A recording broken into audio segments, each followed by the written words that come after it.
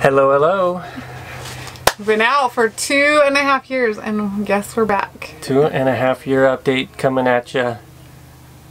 It's been a long two and a half years, so and it's been about six months since we released a video, so we wanted to do a quick update and uh, But you know, we're questions. still here traveling. Yeah, we really haven't stopped, so we've been a lot of places, and uh, and there's our That's the loud loud air conditioner. there's the loud air conditioner, so we can't turn it off because we're in Arizona, so we're just gonna we're just gonna keep going. We'll talk loud. Two and a half years. So we have a few questions that we get asked a lot. We thought you guys might want to know as well. So one of the biggest questions we get asked is, What is the biggest question we get asked? how long are you going to keep doing this? We do get that one a lot. So when are you guys gonna stop?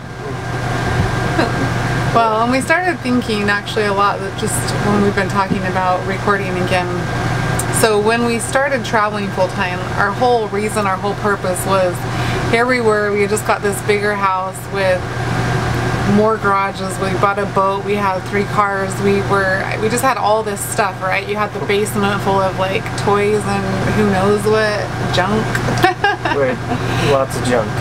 yeah, just a bunch of stuff, and we decided that we just wanted to simplify things, and we wanted to just get you know back to what was most important to us, which for us it was family, our relationship with each other, our mm-hmm. relationship with God, we just wanted to kind of simplify things. And we're both adventurous, so we wanted an adventure, and we were we have property that we wanted to build that we were eventually going to build on, and so we were like, well, let's just go do this for a year when we started, and we had a two month old. If you Mhm. haven't listened to any of our other YouTube videos, so we had a two month old, and we were like, let's do it. And within 28 days, we were on the road. But so that question is kind of what we were thinking. So have we accomplished what we set out to do?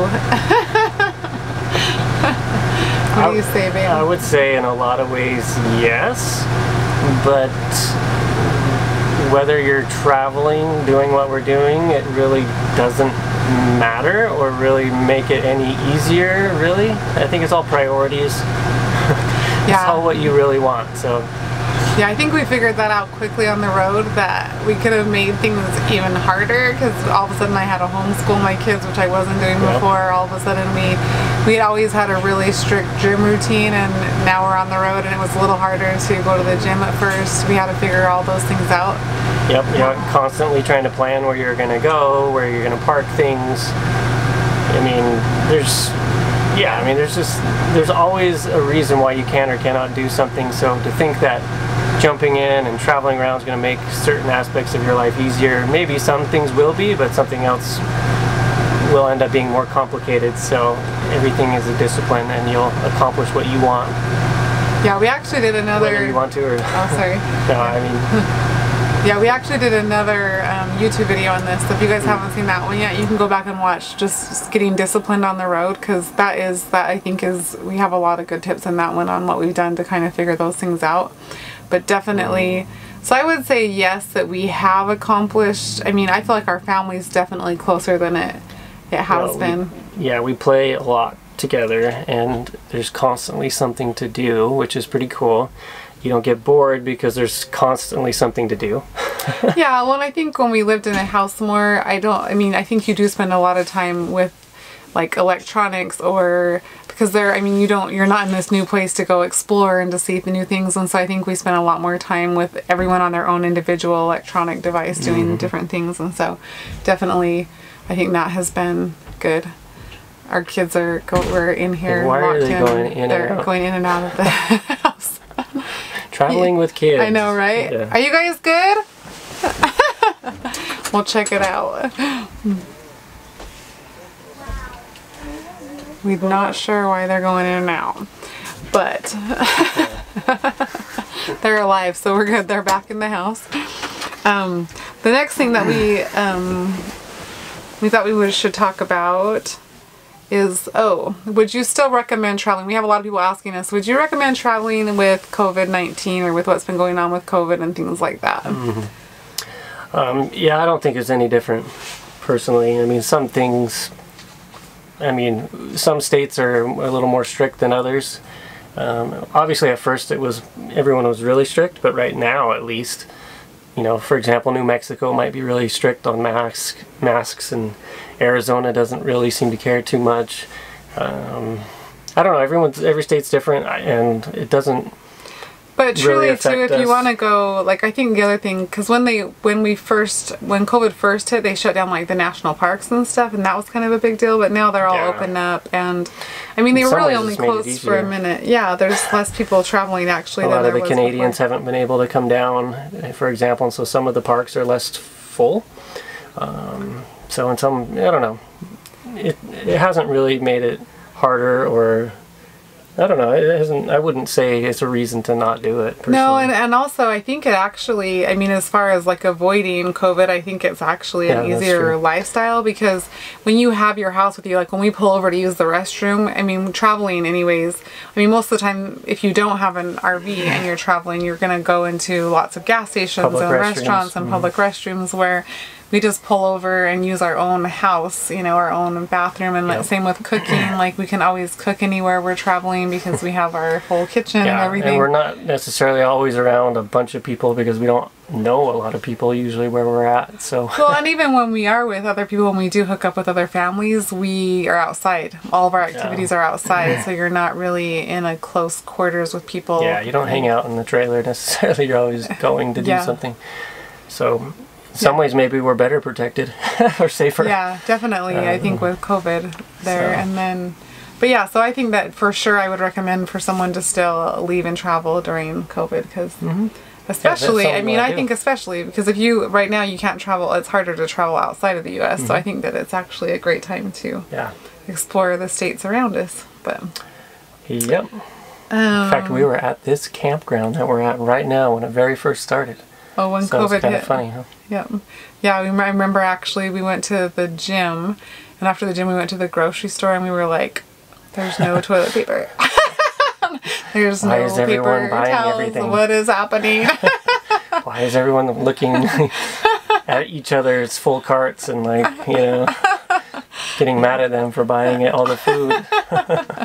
yeah, it definitely felt weird. I remember we were actually doing laundry too and some guy coughed while he was um, in the laundry room and he's like, I'm so I'm not sick, I have allergies and I just remember that feeling of like, like a- oh, what is like happening? Everyone thought they were in a zombie movie or something that, you know, everyone Yeah. was, he was going to fall over and die and get everyone sick. I don't know. He was, Yeah, but I, I still feel like that to this day. I don't want to cough in public, so mean, so not much has changed. it was just funny, the reaction.